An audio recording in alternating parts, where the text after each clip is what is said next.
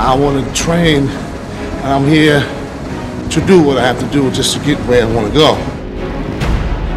Now, I'm training hard. I'm giving my all to let everybody know that I'm here now and I'm here to stay. That if you 100% focused and dedicated, you can do it.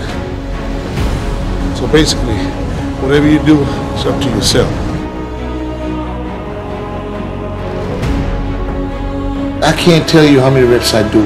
Sometimes I can't even tell you how many reps I did right after the set because I just go to, uh, sometimes I just go to failure. If I can't do it no more, I can't do it no more.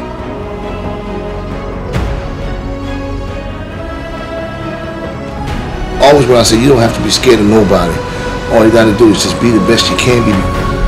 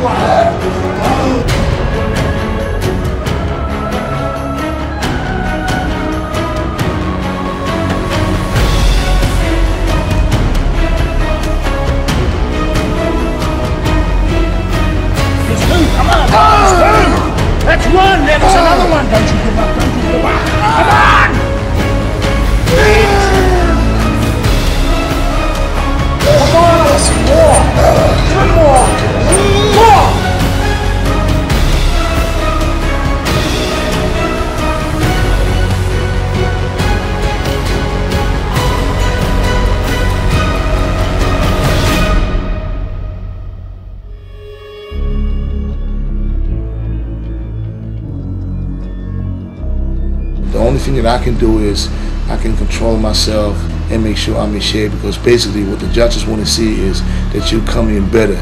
They want to see you doing something that you you know you get the job done and if you come in and improve then they should award you for that. You can't even lift my arm up no more.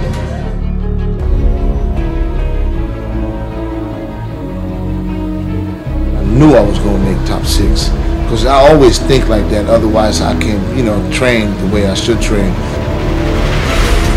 So I always set myself a high goal just to make sure I'm motivated enough to do my training.